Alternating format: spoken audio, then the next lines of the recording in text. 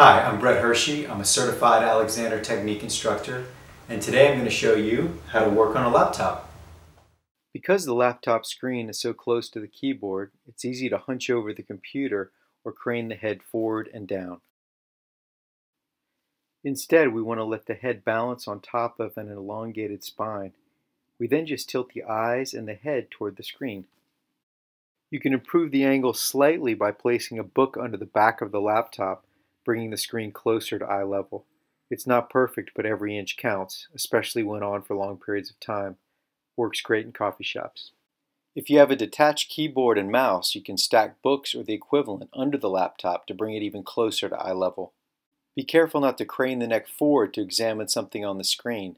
Instead, move the entire spine, including the pelvis, from the hip joints forward. A couch or stuffed chair present the same pitfalls.